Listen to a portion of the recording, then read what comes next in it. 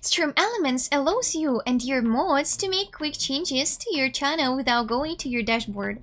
My name is qoqsik. I stream on Twitch, do designs and art, and also have a small store with badges, panels, and overlays. In this video, I will describe a list of common comments that you and your mods can use to streamline your channel. When setting up moderators and stream elements, you can separate your mod in two categories, moderators and super moderators. Super moderators will have access to some tools that moderators will not. To change your Twitch title with stream elements, you and your super mods can type in the following command.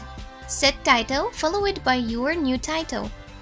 For example, if you're trying to change your title to Community Night Come Play With Us, you would type the following into your Twitch chat. You and your super mods can change your game on stream elements by using the following command set game followed by your new game.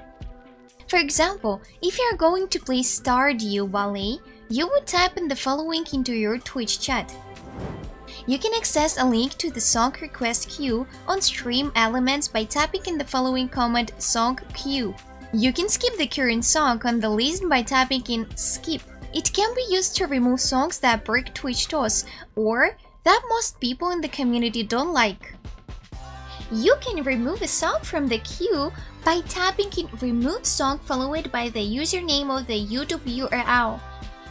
If you want to remove all songs requested by a specific user, tap in the username. If you need to remove a specific song, type in the URL. You can also remove everything in the media request queue by tapping in Ether Clear. Pause a song by tapping Pause, then begin to play it again by tapping in Play. Change the volume by tapping in Volume. Volume is a super moderator command. If you want to add a custom comment, tap in comment followed by another exclamation point and the new comment's name, then what the comment will say. For instance, if you want a cotton candy comment that asks if your audience has cotton candy, you would type the following. In the future, when people tap in cotton candy stream elements will respond with does everyone have cotton candy?